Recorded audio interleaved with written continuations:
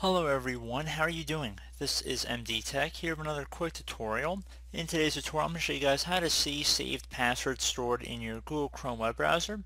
So this should hopefully be a pretty straightforward tutorial and without further ado let's jump right into it. So we're going to start by opening up the Google Chrome web browser if it's not already open. And you want to navigate over to the menu icon near the top right and just left click on it one time. Now you want to go down and left click on settings Now that you're on the settings page, you want to scroll down here and then when you get to advanced, left click on advanced one time. So keep scrolling down here.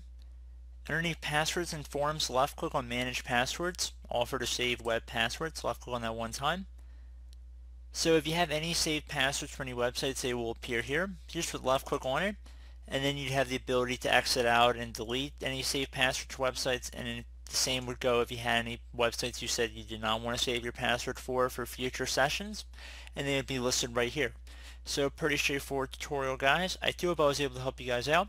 And as always, thank you for watching, and I'm looking forward to seeing you all in the next tutorial. Goodbye.